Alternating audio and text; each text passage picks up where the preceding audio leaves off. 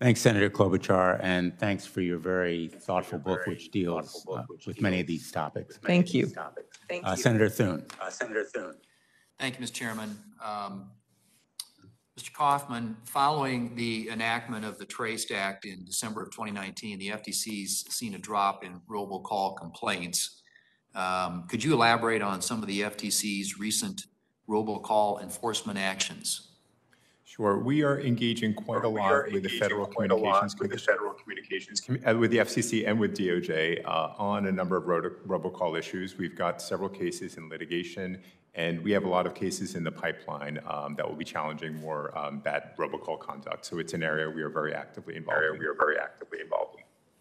Could you um, speak to the FTC's efforts on engaging on that issue with industry initiatives like the Robocall Trace Back Group and whether this public-private partnership has been successful in identifying illegal, illegal robocallers? Absolutely. It has been a very uh, successful partnership. It's been a robust source of leads and helpful information to allow us to, to build successful law enforcement actions. So it highly successful. Highly successful. Okay, good. Um, Justice Breyer's opinion last week regarding the FTC's authority to seek equitable relief cited the Safe Data Act, which is comprehensive privacy legislation I've sponsored with Senators Wicker, Fischer, and Blackburn, as an example of Congress considering providing for a fix to the gap in the FTC's 13B authority. Uh, Mr. Kaufman, in your view, would this particular provision be helpful to the FTC after the Supreme Court's unanimous ruling that the FTC could no longer secure consumer redress in federal courts under the FTC's 13B authority. Absolutely. We really do appreciate the inclusion of 13B reform in the uh, Safe Data Act uh, and very much are uh, very supportive and think it's a very important thing for, for Congress to take up. Mr. Rhodes, I appreciate all the work that 3M has done throughout the pandemic to increase its production of PPE to support individuals and frontline workers uh, in fact, last November, I had the opportunity to visit 3M's manufacturing facility in Aberdeen, South Dakota to see the expansion of 3M's N95 mass production lines. At the same time, you were increasing your manufacturing capabilities. Scammers were trying to exploit the pandemic by offering a number of fraudulent products. What steps did 3M take to combat fraudulent activity during the pandemic? And can you talk about your partnership with law enforcement officials when identifying fraud? Yes, thank you for the question, Senator Thune.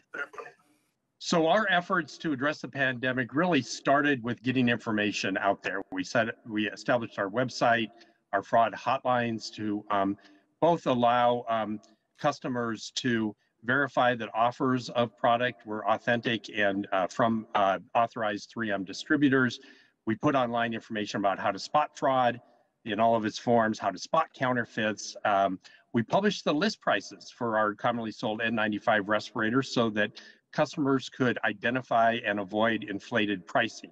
At the same time, um, uh, once we established intakes for reports of suspected fraud, um, we reached out, as I mentioned, um, to the Department of Justice, uh, to state uh, AG's offices, to um, DHS, to CBP, to the FBI, um, and started a process of sharing information, of referring reports. We've referred thousands of reports, which has really extended the reach and effectiveness of our actions.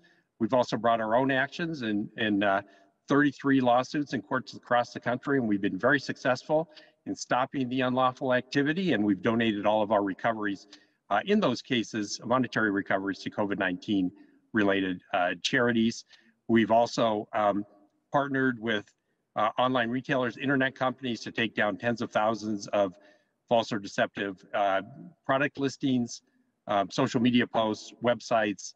Um, and so it's been a um, really a, a, case of addressing fraud, price gouging, um, and counterfeiting from all angles. Uh, Mr. Kaufman, there have been a number of discussions around vaccine passports since the Biden administration took office. Uh, vaccination is key to ending this pandemic, but the idea that a vaccine passport or lack thereof could be used to track or restrict Americans' movement is concerning. I understand several technology companies have been working to develop digital tools or passports, which may be appealing to consumers as they seek ways to facilitate their return to normal activities. And while convenient to the consumer, I am concerned about the privacy and security of that health data that the consumer may opt to provide these companies. The FTC taken steps to conduct oversight of the privacy implications of digital vaccine passports? At the moment, we have not done anything publicly about it, but it is an issue that we are very concerned about. Obviously, there are enormous implications involving vaccines and privacy issues. privacy We've also been active in a lot of other health privacy areas. We brought a recent case, uh, Flo, involving uh, an online telehealth app uh, that collected um, a lot of information from uh, hundreds of millions of people. So the issue of health and apps is an area we're very focused on, and I, I think you raise a very important issue that we will be looking at. Looking at. Good, okay, I'm glad you're going to be looking at it. Thank you, Ms. Mr. Chairman. Thanks, Senator Thune. Uh, And now Senator Markey. Thank, uh, thank you very much, um, Mr. Chairman.